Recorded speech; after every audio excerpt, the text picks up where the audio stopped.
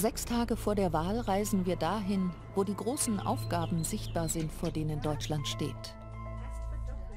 Zu Menschen, die wichtige Jobs machen, von denen sie aber nur schlecht leben können. Dass wir wirklich in keinster Weise unsere Verantwortung auf dem Gehaltszettel erkennen können. Die nach Wegen suchen, wie wir uns vor Terror besser schützen können. Wir haben eine Aufgabe, wir wollen den Leuten halt aufklären, okay, das ist nicht richtig. Gerade wir als Muslime müssen das machen. Die sich fragen, wo sie noch einen Platz finden in ihrer Stadt. Es ist Wohnungsnot, es gibt kaum noch bezahlbaren Wohnraum. Oder was sich tun lässt gegen Armut im Alter. Das ist die große Baustelle, der sich die Politik nicht äh, entziehen darf. Viel zu tun auf der Baustelle Deutschland.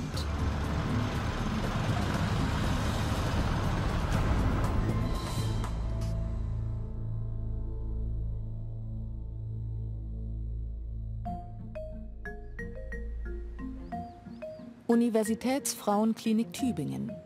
3000 Babys kommen hier jedes Jahr zur Welt. Das ist Erik, drei Tage alt. Wenn alles gut läuft, hat er eine Lebenserwartung von 78 Jahren. So viele Lebensjahre wie noch keine Generation zuvor. Mutter Mandy Kille und Erik sind nach der Geburt voller Glück. Schon fantastisch. Also es lässt sich schwer beschreiben. Ich glaube, das muss man einfach erleben. Ein Wunder? Ein richtiges Wunder, ja. Erik hat schon einen großen Bruder. Wie wird es den Killes einmal ergehen in Zeiten unsicherer Arbeitsplätze, steigender Lebenshaltungskosten, wenn immer weniger Steuerzahler für immer mehr Rentner aufkommen müssen? Also ich kann mir vorstellen, dass es nicht mehr so einfach ist, Vermögen aufzubauen, wie es für uns vielleicht oder für die Generation vor uns sogar war. Ich denke, es wird schon schwieriger für ihn werden. Aber auch die Elterngeneration besteht nicht nur aus Gewinnern. Bärbel Hecker hat das versucht, was alle ihr geraten haben. Eine gute Ausbildung machen, Kinder bekommen und dann die Karriere. Heute ist die Biologin mit Doktortitel, die bald in Rente gehen wird, nachdenklich geworden. Als alleinerziehende Mutter war eine Karriere in ihrem Traumberuf nicht drin. Stattdessen Auszeiten für ihr Kind. Immer neue, schlecht bezahlte Jobs. Ich hatte Zeitverträge, ich hatte Werkverträge und ich hatte eigentlich nie eine Dauerstelle in meinem Leben. Äh, weil sonst wäre ich natürlich dort geblieben, das ist ja klar. Ist das ungerecht? Das ist natürlich nicht gerecht, das ist eigentlich eine Schweinerei. Und ich muss auch ehrlich sagen, ich bin sehr ärgerlich oft darüber, in einer gewissen Weise auch verbittert. Sie übersetzt heute Fachbücher der Biologie ins Deutsche. Ein ganzer Schrank ist voll davon. Hochkomplexe Themen. Gute Zeugnisse und viele Urkunden. Ein ganzes Leben ausgebreitet auf dem Wohnzimmertisch. Wissenschaftlerin, Mutter, Selbstständige.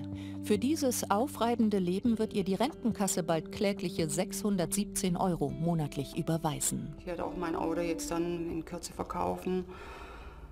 Und ähm, eigentlich habe ich immer gedacht, wenn ich mal Rentnerin bin, könnte ich noch mal studieren. Das habe ich mir immer so gewünscht. Aber dafür werde ich die Zeit nicht haben.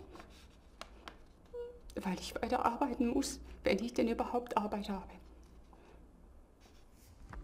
Lange Kindererziehungszeiten, geringer Lohn. Das Schicksal von Bärbel Hecker ist das Schicksal von Millionen, die jetzt bald in Rente gehen. Im bestehenden Rentensystem sind das tatsächlich diejenigen, ähm, die das ganz schlechte Blatt gezogen haben. Die Frauen, äh, gerade in Westdeutschland, die ähm, jahrelang ausgesetzt haben, unterbrochen haben, sich um die Kinder gekümmert haben. Die haben ja nicht nicht gearbeitet, sondern die haben oft sehr hart gearbeitet, nämlich in den Familien. Und ja, die sind äh, letztendlich von ihrer Biografie her in der Rentenversicherung verraten und verkauft. Die Schönau, eines der Sorgenkinder unter den Mannheimer Stadtteilen. Viele Rentner leben hier, die auf die staatliche Grundsicherung angewiesen sind. Der Tafelladen vom Roten Kreuz ist ihr Treffpunkt. Hier bekommen sie Waren, die regulär nicht mehr zu verkaufen sind, zu einem sehr günstigen Preis. Jeden Tag großes Gedränge, wenn der Tafelladen öffnet.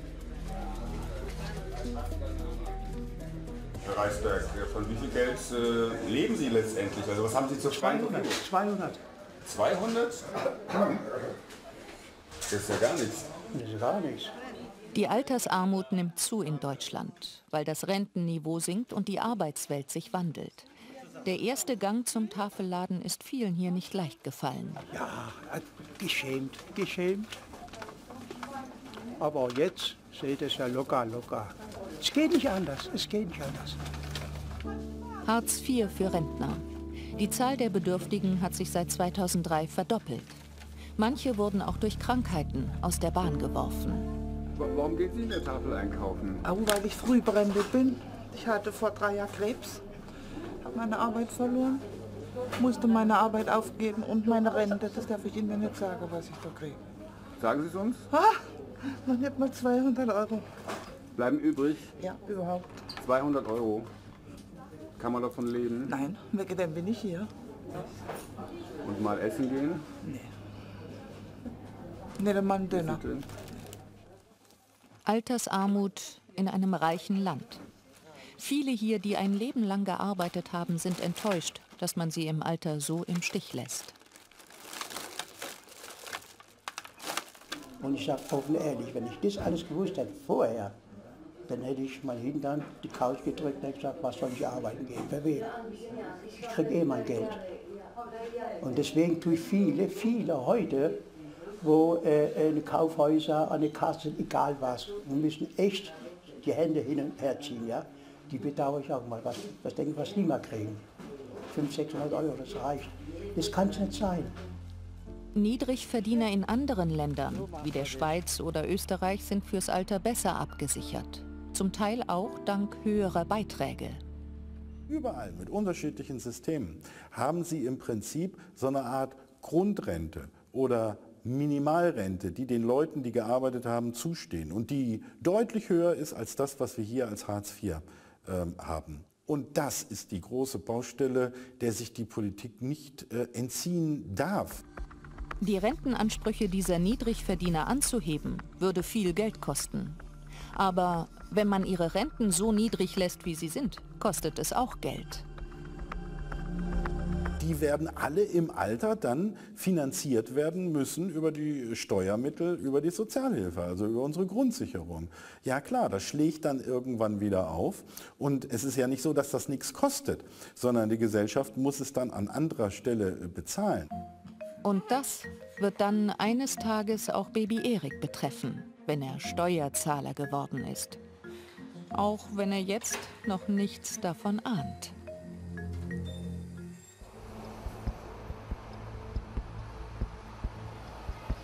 Stuttgart, die Automobil- und Feinstaub-Hauptstadt. Seit Mitte August sind die Grenzwerte für dieses Jahr wieder überschritten. Franco Jacopino baut Diesel und fährt Diesel. Jetzt muss er fürchten, dass er ausgesperrt wird. Fahrverbote drohen. Ich habe immer gedacht, äh, ich, fahre ein Fahrzeug, äh, das so relativ sauber ist mit Partikelfilter und äh, und es wäre alles wunderbar und ich war selber überrascht, wie die reale Messwerte sind auf der Straße. Nicht nur der Alpha, den er fährt, sondern auch viele Motoren, die der Daimler-Arbeiter selbst mitproduziert hat, sorgen für schlechte Luft hier. Davon hat er buchstäblich die Nase voll. Manfred Nies klagt über Atembeschwerden. Er klagt auch vor Gericht gegen die Behörden und wirft der Politik Untätigkeit vor. Ich würde mir wünschen, dass die äh, Bundesregierung mehr Rückgrat hat. Beispiel, am 2. August hätte die äh, Bundesregierung durchaus durchsetzen können, dass eine Hardware äh, Nachrüstung möglich ist. Äh, das hat sie leider versäumt. Jetzt wird es schwierig. Äh, man würde erwarten, dass die äh, Bundesregierung insgesamt mehr Rückgrat gegenüber der Automobilindustrie zeigt und mehr Unabhängigkeit. Heißt auch mehr Druck in Richtung Elektroauto. Im Daimler-Motorenwerk am anderen Neckarufer könnte das gravierende Folgen haben. Auch für Franco Jacopino. Denn E-Motoren sind viel einfacher aufgebaut und verursachen viel weniger Arbeit. Jetzt sind etwa über 20.000 äh, Menschen hier beschäftigt, die wo zur Arbeit kommen, die wo, die wo eine Existenz dahinter haben, wo, wo Geld verdienen. Und das, das wäre nachher weg. Also es wäre ein Großteil von denen, äh, es wäre nur noch ein Bruchteil davon. Man spricht von ein Drittel, wo nachher übrig bleiben tut. Und äh, das wäre Katastrophe. Also das wäre unvorstellbar. 600.000 Jobs seien gefährdet hierzulande, so der Verband der Autoindustrie. Der Unternehmensberater Oliver Greiner kennt die Autokonzerne in- und auswendig. Er rät dennoch nach vorne blicken und handeln. Sie werden nicht von heute auf morgen wegfallen, die Arbeitsplätze, die dahinter sind. Auch wenn die Technologie sich schlagartig entwickelt, so wird es doch noch eine ganze Weile dauern, bis überhaupt gar keine Verbrenner mehr produziert werden. Aber eins ist sicher, wir werden uns überlegen müssen, was mit diesen 600.000, wenn sie dann schleichend in bestehenden Arbeitsfeldern nicht mehr arbeiten können, in welche Arbeitsfelder sie dann überwandern. Und hier wird es sicherlich spannend sein, inwieweit es auch den Zulieferern gelingt, neue Technologien zu entwickeln, neue Arbeitsfelder zu entwickeln, in der neuen Technologie wirklich mit dabei zu sein. Denn es sind nicht nur die Autohersteller wie Daimler, BMW, VW, Audi, Opel, Ford oder Porsche, sondern fast mehr noch die vielen Zulieferer, die von dem Wandel betroffen sind. Zum Beispiel ZF. In Saarbrücken baut der Zulieferer Automatikgetriebe für große Marken. Tausende gut ausgebildete Fachkräfte sind hier spezialisiert auf die Metallbearbeitung, die im Elektrozeitalter aber nicht mehr so gefragt sein wird.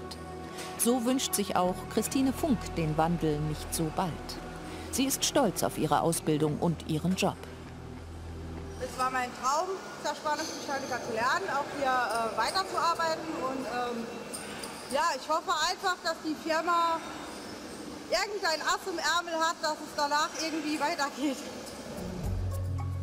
Prinzip Hoffnung. Auch für Lars Winkler steht die Zukunft auf dem Spiel. Er gibt den Getriebezahnrädern hier ihren letzten hochpräzisen Schliff. Solche Zahnräder werden aber in E-Autos kaum noch gebraucht. Er sieht die E-Mobile skeptisch. Man spart vielleicht Benzin und alles, aber Spaß machen tut's Autofahren mit dem Getriebe, mit dem Sound halt hinten dran, ja. Sein Vater arbeitet bei ZF, sein Bruder, und auch er glaubte anfangs noch an einen sicheren Job hier. Doch langsam zweifelt er der heutigen Zeit mit, mit den Elektroautos, jetzt gerade bei der ZF, wo wir arbeiten, mit dem Getriebe, weiß man nicht, was in zehn Jahren ist, ob dann immer noch Getriebe gebaut werden oder nicht. Da würde ich mich dafür einsetzen, dass mehr, mehr auf die Sicherheit von den Arbeitern eingegangen wird und nicht so viel ins Ausland äh, verlagert wird, weil es da billiger ist, sondern hier in Deutschland produzieren. Noch laufen hier täglich tausende Getriebe vom Band. Doch möglicherweise kommt das E-Auto schneller als gedacht. Dann wird es alle treffen, die, wie Sie, auf Getriebe und Verbrennungsmotoren spezialisiert sind. Die wird es sehr schwierig und da wird es auch, da brauchen wir uns äh, nichts vorzumachen, viele geben, die diesen Wandel nicht mitmachen können, die werden dann schließen müssen oder sie müssen sich einfach neue Arbeitsfelder suchen. Da braucht man sich nicht zu verschließen, wir können diskutieren, ob das in fünf oder in zehn Jahren sein wird, aber sie wird da sein und man muss jetzt diese Herausforderung annehmen. Genau daran arbeiten die Entwickler von ZF. Sie haben längst einen Elektroantrieb für ein Auto gebaut, weil das die Zukunft ist. Doch die Serienmodelle kommen erst zögerlich. Zu teuer, sagen viele Autohersteller. Zu groß noch die Befürchtung von Kunden, die Reichweite wäre zu gering. Das Stromtanken zu schwierig. Aktive Politik brauchen wir dahin, zum einen um die Akzeptanz zu stärken, zum anderen natürlich um die Ladeinfrastruktur insgesamt aufzubauen, auszubauen und auch letztendlich um Anreizsysteme für den Kunden zu schaffen. Doch das ist nur der erste Schritt in die automobile Zukunft. Sie arbeiten hier auch am selbststeuernden Auto, das ohne Fahrer einem Hindernis ausweichen kann. So? Genau so, so ist es perfekt, ja. Okay. Nur die politischen Rahmenbedingungen dafür seien es nicht. Das meint auch der ZF-Chef Stefan Sommer. Er sieht hier eine Baustelle für die Politik. Natürlich wünsche ich mir von einer neuen Bundesregierung, dass ähm, die Infrastruktur und auch die gesetzliche Rahmenentwicklung den Trends in der Automobilindustrie Rechnung trägt. Das heißt, autonomes Fahren, Assistenzfunktionen, Sicherheitsfunktionen ähm, im Rahmen der Gesetzgebung zulässt äh, und gleichzeitig auch eine Infrastruktur wie zum Beispiel das Internet, schnelles Internet, die, die Anbindung über Funk äh, ausbaut. Das Auto wird neu erfunden. Ob die deutschen Autokonzerne dabei auf dem Spitzenplatz bleiben, ist nicht sicher. Doch nur deshalb am Alten festzuhalten, ist auch für den Dieselfahrer und Dieselmonteur Franco Jacopino nicht der richtige Weg.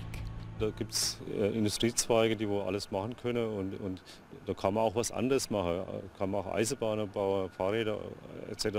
Und muss es aber auch vorantreiben und einfordern von der Politik. Dass die Politik erfolgreich Techniken fördern kann, hat sie mit Milliardensubventionen und großzügigen Abgasgrenzwerten für den Diesel bewiesen.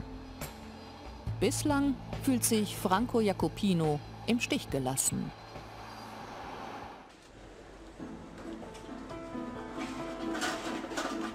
Berlin-Schöneberg. Rund um den Winterfeldplatz fühlt sich Thomas Pawelek wohl. Seit fast 40 Jahren. Viele bekannte, kurze Wege. Eine Gegend, in der man gut alt werden kann. Wir sind hier mitten in der Stadt, haben aber ganz in unserer Nähe auch äh, große Grünanlagen, zum Beispiel den, den Tiergarten. Im Prinzip haben wir alles vor der Tür. Und da möchte man natürlich so einfach nicht weg. Doch jetzt droht ihm genau das, Auszug aus der Wohnung. Das Haus, in dem er wohnt, hat zuletzt viermal den Besitzer gewechselt und gehört nun einem Investor, der schicke Eigentumswohnungen aus den bisher günstigen Mietwohnungen machen will. Thomas Pawelek und sein Nachbar Wolfgang Hoth erleben jetzt dasselbe wie viele Mieter in Berlin und anderen deutschen Großstädten. Modernisierung, Mietsteigerung und die Ahnung, das Wohnen in der Innenstadt wird man sich nicht mehr lange leisten können. Der Modernisierungszuschlag würde sich auf 442,95 Euro belaufen. Das wäre dann eine Steigerung der Grundmiete von über 91 Prozent. Ich stehe jetzt vor der Situation, dass jemand versucht, mich aus der Wohnung zu drängen. Und das ist ein ganz perfides System, das muss man ganz deutlich sagen. Unsere gesamte Lebensplanung ist dadurch über den Haufen geworfen worden. Wir hatten uns also darauf eingerichtet, dass wir hier mindestens noch 10 bis 15 Jahre wohnen können, immer vorausgesetzt, dass wir gesund bleiben. Gerne würden sie in ihrem vertrauten Kiez bleiben, aber danach sieht es nicht aus. Wohin dann? Berlin war immer eine Stadt für Mieter. Doch immer mehr werden Wohnungen zu Geldanlagen. Was die beiden Rentner besonders ärgert, die Politik hat ihrer Meinung nach das Problem lange verschlafen. Es ist Wohnungsnot in Berlin. Es gibt kaum noch bezahlbaren Wohnraum und hier werden Eigentumswohnungen errichtet. Ähm, das ist doch total am Bedarf vorbei. Das ist so in der Hauptstadt, aber auch in vielen anderen boomenden Städten. Bundesweit fehlen rund eine Million Wohnungen, vor allem bezahlbare. Und die Geografin Ilse Hellbrecht rechnet damit, dass sich die Lage noch verschärft. Der Markt will hochpreisige Wohnungen, weil Wohnungen inzwischen Immobilien auch ein Spekulationsobjekt geworden sind, so wie Aktien und sich damit einfach einen Profit machen lässt. Das heißt, in einer freien Marktwirtschaft wird der Markt immer dafür sorgen, dass in den boomenden Ballungsräumen Wohnen teurer und teurer wird. Wie also wird Bauen billiger? Hendrike Vogt will günstigere Wohnungen anbieten. Der Familienbetrieb, in dem sie arbeitet, hat ein lange vergessenes Konzept wiederentdeckt. Serielles Bauen. Früher hieß das Plattenbau. Heute kann man mit vorgefertigten Bauteilen ansehnlich und sogar klimaneutral bauen. Und billiger. Bei einem individuell geplanten Haus liegen die Planungskosten oft bei 20 Prozent. Seriell geplant schätzt Hendrike Vogt bei nur 3 Prozent. Außerdem geht serielles Bauen schneller, bei der aktuellen Wohnungsnot ein wichtiger Faktor. Aber das Hauptproblem liegt woanders. Wir können nur da bauen, wo auch äh, Bauland vorhanden ist. Das heißt, es ist wichtig, dass eben auch kommunale äh, Grundstücke freigegeben werden und Bereiche, wo Bedarfe entstehen oder schon lange entstanden sind, äh, diese eben auch freigegeben werden. Genau da liegt das Problem. Baugrundstücke sind extrem gefragt und die Bodenpreise sind es vor allem, die die Baukosten nach oben treiben. Man muss den Markt Teil des Grund und Bodens entziehen, damit ein Teil der innerstädtischen Böden und damit der innerstädtischen Wohnungsmärkte nicht an diesem Prozess der Preisspirale von Spekulationen teilnimmt. Wie das geht, sieht man in Münster. Die Stadt wächst durch Zuzug und rechnet mit 30.000 neuen Einwohnern in den nächsten Jahren. Der Druck auf dem Wohnungsmarkt ist also groß. Damit Wohnen in der Stadt bezahlbar bleibt, haben die Stadtoberen sich überlegt, wie sie Zugriff auf einen Teil der Grundstücke bekommen können. Wer als Grundstückseigentümer auf unbebauter, jungfräulicher Fläche neues Bauland schaffen will, muss die Hälfte dieser Fläche an die Stadt verkaufen. Die verkauft die Grundstücke dann an Investoren weiter, und zwar ganz gezielt nicht nach Höchstgebot. Wir veräußern zu einem Festpreis und geben demjenigen das Grundstück, der die niedrigste Startmiete bietet. Das heißt, die Investoren sind gefordert, eine niedrige Startmiete zu bieten und das kommt unmittelbar den Mieterinnen und Mietern hinterher zugute. Und zwar bei diesen öffentlich geförderten Mietwohnungen genauso wie bei den frei finanzierten. Bemerkenswert an der Münsteraner Baupolitik, dieses System haben alle Parteien im Stadtrat einstimmig beschlossen. Aber klar ist auch, um überhaupt erst in die Lage zu kommen, Grundstücke zu kaufen, so wie es Münster vormacht, brauchen die Städte dringend Hilfe von oben, vom Bund. Einmal wäre es hilfreich, über eine Gesetzesänderung im Baugesetzbuch nachzudenken, dass die Kommunen ein Vorkaufsrecht erhalten für Grundstücke im beplanten Innenbereich. Aber gleichzeitig müssen die Kommunen natürlich auch finanziell in die Lage versetzt werden, dieses Vorkaufsrecht dann ausüben zu können. Heißt, wenn die nächste Bundesregierung etwas tun will für den Wohnungsbau, muss sie den Kommunen Geld zur Verfügung stellen. Zurück in Berlin. Wolfgang Hoth und Thomas Pawelek haben ihre Mitbewohner zusammengetrommelt. Hoffnung, die enormen Mietsteigerungen zu verhindern, haben sie kaum. Auch die Mietpreisbremse hilft nicht, wenn die Wohnungen modernisiert werden. Der Staat ist im Grunde genommen Papiertier. Der hat sich selber handlungsunfähig gemacht auf dem Gebiet. Nicht? Und die Mieter, die bezahlen die Zeche. Bezahlbare Wohnungen im Viertel, Fehlanzeige. Mieter wie Sie, die sich keine Eigentumswohnung in der Stadt leisten können, werden nur dann wieder bezahlbare Mietwohnungen finden, wenn der Bund sich darum kümmert. Die Länder sind überfordert. Es gibt auf der Bundesebene keine Wohnungspolitik mehr. Das wird alles in den 16 Bundesländern gemacht. Wir brauchen also eine Grundgesetzänderung und es muss wieder dem Bund möglich sein, in Wohnungsbau zu investieren. Es kann nicht sein, dass wir in Deutschland wie im Mittelalter in, einem, in einer Kleinstaaterei 16 Mal Wohnungspolitik betreiben in den Ländern und es nicht auch eine nationale Aufgabe ist.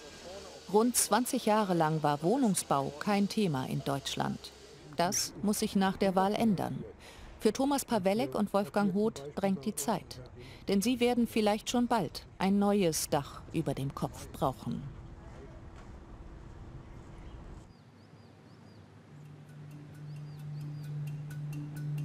Sie hat einen der schönsten Berufe der Welt, könnte man meinen.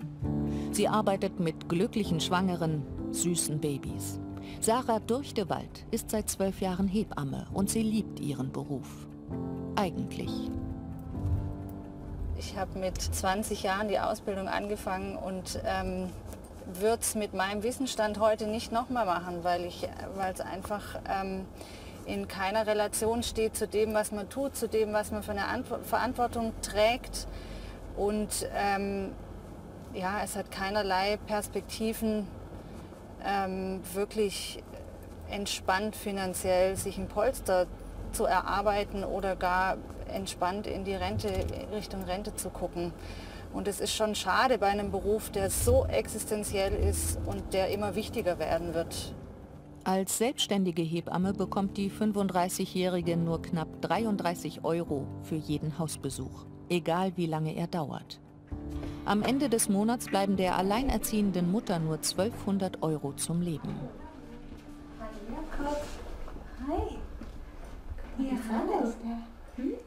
Nicht immer ist ihr Besuch, wie hier bei der Familie Wollwinder, reine Routine. Und die Morgenstunden gehen auch? Oder ist ja. er arg am es kann viele Komplikationen nach der Geburt geben. Von ihrer Aufmerksamkeit hängt es oft genug ab, ob eine lebensbedrohliche Situation erkannt wird. Dafür bekommt sie nicht mehr als eine Hilfsarbeiterin ohne Ausbildung. Das ist leider wirklich ähm, die Situation, die uns das Leben so schwer macht, dass wir wirklich ähm, in keinster Weise unsere Verantwortung auf dem Gehaltszettel erkennen können. Alle reden davon, wie wichtig Kinder für die Zukunft dieses Landes sind. Wie kann es dann sein, dass sie knapp über dem Hartz-IV-Niveau leben muss? Die wichtigste Forderung an die Politik? Endlich eine Erhöhung der Hebammengebühren. Auch der Blick in die Zukunft sieht nicht besser aus, zeigt die Berechnung der Rentenkasse. Ja, das ist eigentlich jedes Jahr aufs Neue wirklich erschütternd, weil man denkt, Mensch, jetzt müsste doch einfach mal mehr draufstehen und äh, man kriegt dann schon wirklich auch Angst und denkt sich, hoffentlich tut sich auch irgendwas, weil sonst sieht es sehr, sehr düster aus. Ähm, das macht einem schon echt Angst. Es gibt viele Sarah Durchtewalds im reichen Deutschland. Sie haben anerkannte Berufe und kaufen ihre Kleider nur im Schlussverkauf. Deutschland ist zwar formal auch immer im Durchschnitt betrachtet die stärkste Volkswirtschaft, aber für einen Teil der Menschen sieht es hier zappenduster aus. Jeder fünfte Arbeitnehmer in unserem Land äh, arbeitet zu Niedriglohnbedingungen. Das ist fast trauriger Rekord in Europa. Weil solche Arbeitsverhältnisse zunehmen, geht die Schere weiter auseinander. Die oberen Lohngruppen heben ab, aber ganz unten gehen die Einkommen sogar zurück. 60 Prozent der Arbeitnehmer, denen geht es heute besser und zwar bis zu 30 Prozent besser als Mitte der 90er Jahre. Die haben mehr Geld in der Tasche, denen geht es gut, aber die 40 Prozent, die im unteren Einkommensbereich liegen bei den Löhnen. Und das sind Millionen Arbeitnehmer. Das sind äh, Busfahrer, das sind äh, Altenpflegerinnen, ganz, ganz viele wichtige Menschen in unserer Gesellschaft und Wirtschaft. Die haben heute weniger Geld in der Tasche als noch Mitte der 90er Jahre. Deutschland ein Niedriglohnland. Besonders in der Schlachtindustrie hat das fatale Folgen, sagen Gewerkschafter hier im Saarland und anderswo. Sie wollen heute Kunden einer großen Fleischfabrik darüber aufklären, warum die Waren hier so billig sind. Deutschland ist zum Schlachthof Europas geworden, weil es immer weniger reguläre Arbeitsplätze gibt. Hallo, ich hoffe, Sie haben gerade gut eingekauft. Wir haben noch eine Information für Sie. Da steht ein bisschen was drin, warum die so günstig sind. Das ist einer der Fleischwarenhersteller, die fast nur mit Werkverträgen arbeiten. Gibt es keinen Tarifvertrag und keinen Betriebsrat. Jetzt wissen Sie auch, warum es so günstig ist. Es gebe hier nur wenige Werkverträgler, verteidigt sich der Fleischwarenhersteller. Jeder Beschäftigte bekomme sogar mehr als den Mindestlohn. Das reiche aber bei weitem nicht, sagt der Gewerkschafter. Wozu gibt es Tarifverträge? Von den Verbrauchern erwartet er sich hier mehr kritische Nachfragen, wie Preise zustande kommen. Von der Politik erwarten die Gewerkschafter, dass sie die Marktregeln verschärft, zugunsten regulärer Arbeitsplätze. Es gibt den deutschen Deal, teures Öl fürs Auto und beim Essen ist es uns total Ja, egal, was, richtig. was auf dem Teller Ist auch- ja. Hauptsache billig. Ja. Ne? Ja, ja, genau das. Die Gewerkschafter sprechen von einer fatalen Abwärtsspirale durch Lohndumping. Wenn ein Betrieb erst einmal damit anfängt, müssen alle anderen nachziehen. Der Betrieb, der nicht mit Werkverträgen arbeitet, hat es am schwierigsten. Der Betrieb mit Tarifverträgen, Mitbestimmung, Betriebsrat hat tatsächlich auf dem Markt einen Nachteil, weil er eben nicht äh, eine aggressive Preispolitik betreiben kann, die die Mitbewerber dann unter Druck setzt. Also wer sich ordentlich verhält, hat in Deutschland sozusagen ein Problem. Ein paar hundert Meter weiter sind diese Probleme zu besichtigen. Ein Betrieb, der versucht hat, mit klassischen, regulären Arbeitsplätzen durchzukommen, musste dicht machen. Dieser Verdrängungswettbewerb findet in vielen Branchen statt. Gut bezahlte, feste Arbeitsplätze verschwinden. Dabei sprechen alle vom deutschen Jobwunder. Tatsächlich ist aber die Situation so, dass ähm, ein nicht geringer Teil dieses Jobwunders auf der Zunahme von prekärer und schlecht entlohnter Arbeit äh, basiert. Und das finden Sie leider in vielen, vielen Branchen.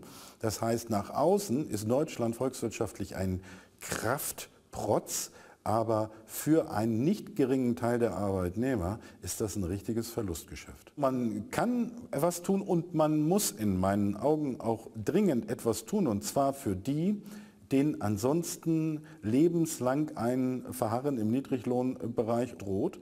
So wie Sarah Durchtewald.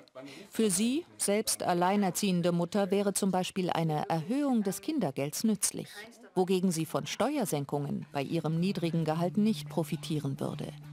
Bleibt alles wie es ist, ist das schlecht für sie und für Deutschland. Denn an Hebammen mangelt es. Vermutlich auch, weil sich herumgesprochen hat, wie schlecht der Verdienst in dem Beruf ist.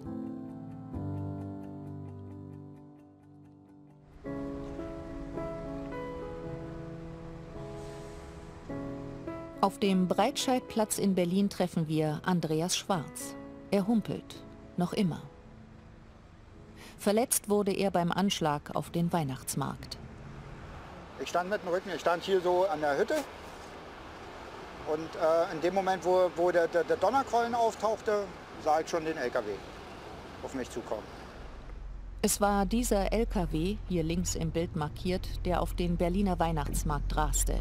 Elf Menschen tötete und 55 verletzte. Der schwerste islamistische Terroranschlag bisher in Deutschland. Andreas Schwarz konnte sich mit einem Sprung zur Seite retten, versuchte dann selbst anderen Verletzten zu helfen. Die Frau, die vor mir stand, also circa drei Meter vor mir stand, ähm, hat der LKW erfasst gehabt. Musste mit eigenen Augen ansehen. Habe versucht, den Puls zu, äh, zu, zu ertasten, aber leider ähm, war da nichts mehr zu ertasten. Der letzte Zug von ihr war ja gewesen, ähm, Augen aufgerissen, ja, guckt mich an, fragt warum und der Kopf fällt an die Seite und war tot. Andreas Schwarz ist traumatisiert, aber auch zornig. Er hat Strafanzeige gegen das Landeskriminalamt Berlin gestellt. Der Anschlag, sagt er, hätte verhindert werden können. Und tatsächlich. Der Täter Anis Amri war als islamistischer Gefährder bekannt, hatte Kontakte zu Terroristen in Syrien, handelte mit Drogen, wurde zeitweise observiert. Zahlreiche Behörden beschäftigten sich mit ihm und trotzdem wurde er unterschätzt. Das Bundeskriminalamt in Wiesbaden hat reagiert, hat ein neues System entwickelt, um islamistische Gefährder sicherer und besser einschätzen zu können, wie Vizepräsident Peter Hensler uns erläutert. Das sogenannte Radar-ITE soll Fälle wie Amri verhindern. Zunächst wird, wie bisher, eine Fallchronologie erstellt, mit allen polizeilichen Erkenntnissen, etwa wann der Islamist erstmals aufgefallen ist.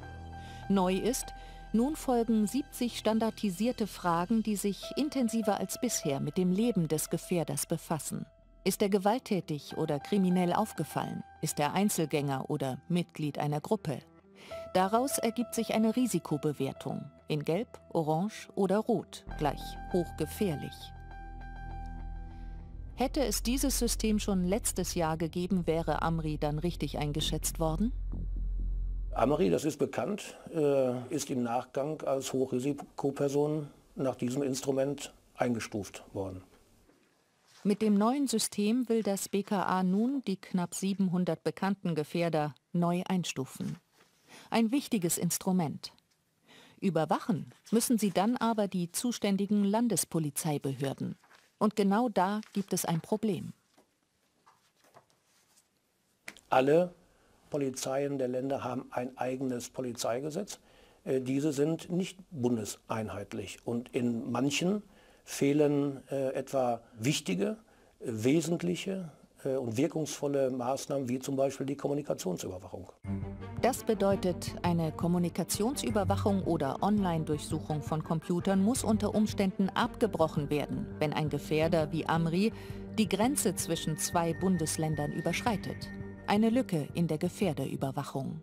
Aus dem Fall Amri ist allerdings die Lehre gezogen werden, dass diese Lücken geschlossen werden müssen. Und äh, ich denke, dass in diesem Jahr äh, durch äh, die Länderparlamente die zentralen Lücken geschlossen werden können. Ich halte es für einen wichtigen Schritt, dass im Jahr 2017 äh, in der Bundesrepublik Deutschland die Polizei nach einheitlichen Gesetzen arbeiten kann. Die bundesweit einheitliche Einstufung und Überwachung islamistischer Gefährder, wie das BKA fordert, das müssen die Bundesländer umsetzen. Eine politische Aufgabe. Aber der Bund kann aus eigener Macht nichts tun. Denn Polizei ist und bleibt auch nach der Wahl Ländersache. Eine andere Aufgabe, Prävention. Verhindern, dass sich junge Menschen überhaupt erst radikal-islamistischen Ideen anschließen. Einen ungewöhnlichen Weg dabei gehen diese jungen Männer. Eine Gruppe gläubiger Muslime um die Brüder Hassan und Mohammed in Düsseldorf.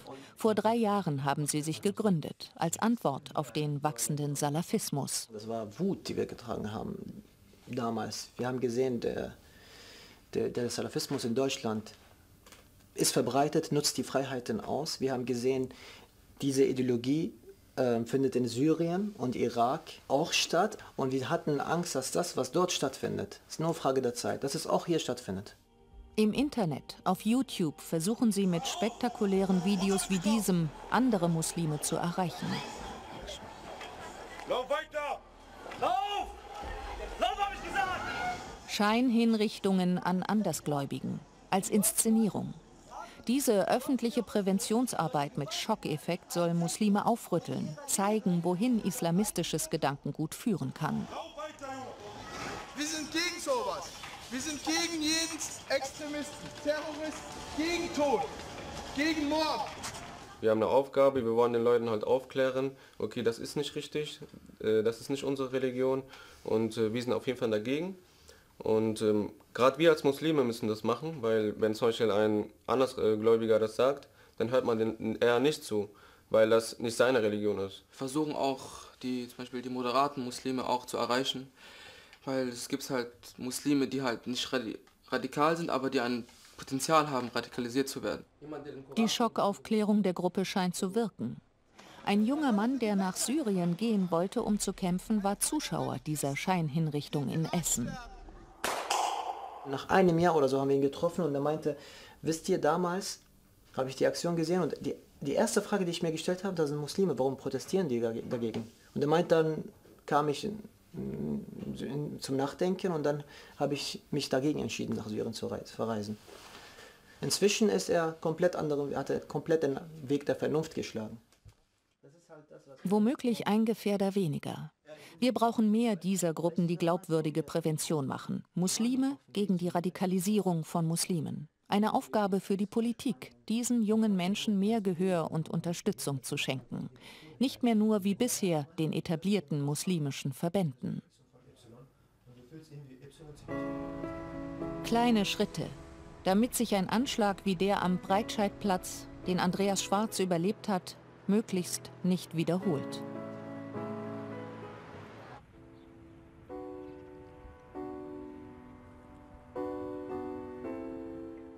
Judith Andrade gibt nie auf. Seit zwölf Jahren pflegt sie ihren schwerstkranken Mann Manuel.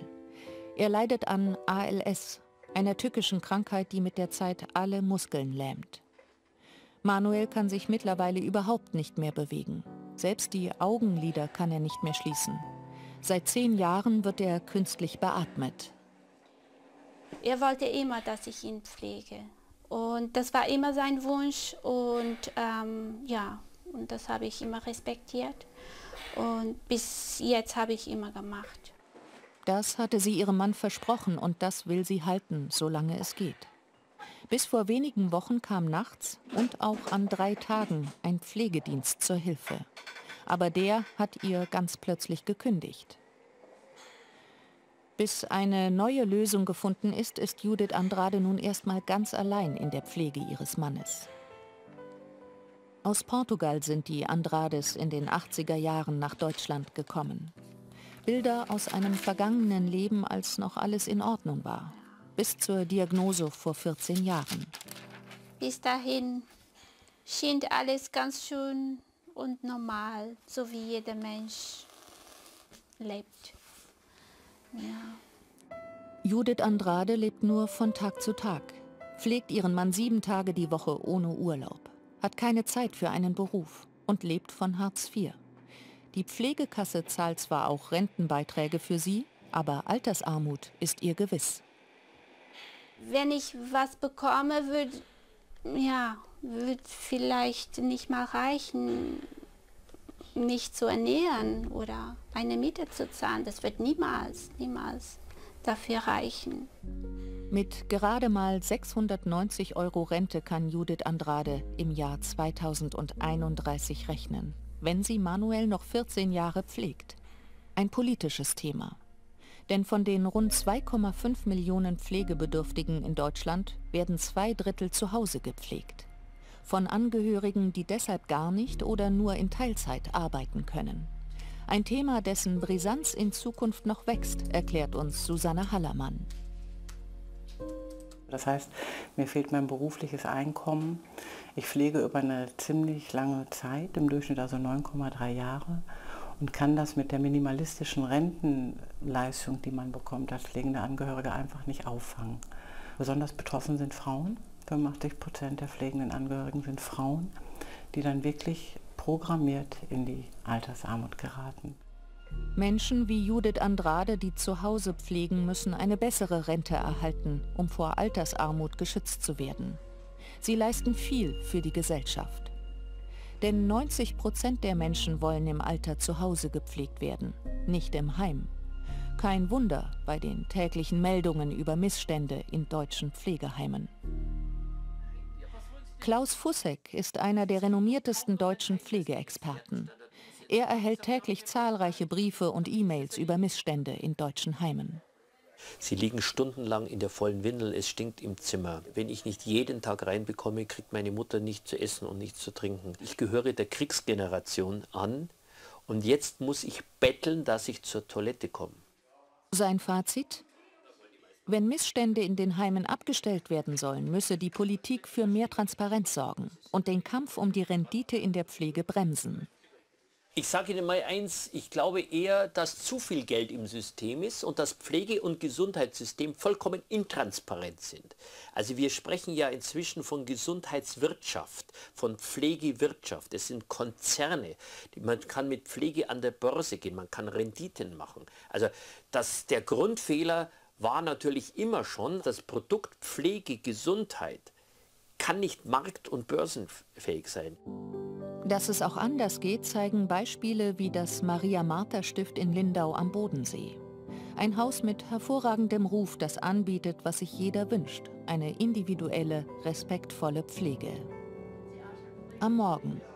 Altenpflegehelfer Hermann Beck weckt die 93-jährige Bewohnerin Maria Hoffmann. So, jetzt ziehe ich Ihnen Ihre Strümpfe an. Ja. Okay. Hilft ihr beim Anziehen. Wie lange leben Sie denn schon hier? Elf Jahre. Elf Jahre hier im Heim? Ja. Und wie ist es? Wie, Wie gefällt es Ihnen? ja, ich bin zufrieden. Ja. Auch Hermann Beck ist zufrieden, arbeitet schon seit 26 Jahren hier. Ein Zeichen für die guten Arbeitsbedingungen. Pflege im Minutentakt gibt es hier nicht. Wir haben die Zeit, wir, wir dürfen sie uns auch nehmen. Natürlich müssen wir auch ein bisschen auf die Uhr gucken, das ist ganz klar. Aber wenn ein Bewohner also mehr Zeit braucht wie ein anderer, dann kriegt er die auch. Wie in vielen Heimen haben auch hier rund 60 Prozent der Bewohner eine Demenzerkrankung. Aber eingesperrt oder sediert wird hier niemand. Stattdessen versuchen die Pflegerinnen, die Bewohner zu aktivieren. Alles hier wirkt freundlich und zugewandt. Von Zeitdruck ist nichts zu spüren. Aber wie geht das? Sie bekomme die gleichen Pflegesätze wie alle, sagt Heimleiterin Anke Franke. Aber als christliches Haus muss sie keine Gewinne abgeben, wie manch private Heime. Gute Pflege sei eigentlich ganz einfach. Da braucht man gute Mitarbeiter, man braucht gute Führungskräfte, man braucht eine Vision, äh, muss begeisterungsfähig sein, muss das weitergeben können, diese Vision ähm, von einer Pflege, wie wir selbst einmal gepflegt werden wollen. Wenn wir im Laufe des Tages lachen über Das geht zum Beispiel, indem sich die Bewohner im Lesekreis treffen. Maria Hoffmann trägt heute etwas vor. miteinander.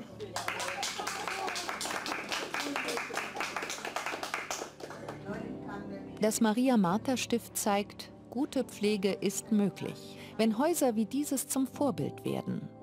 Und es braucht die politische Entscheidung, dass Pflegeheime nicht in erster Linie dazu da sind, Gewinne zu erwirtschaften. Unsere Reise durch die Republik geht zu Ende. Eine Reise zu den großen Herausforderungen der Zukunft. Eine Reise auch zu den Menschen, die sich diesen Herausforderungen stellen und an Lösungen arbeiten auf der Baustelle.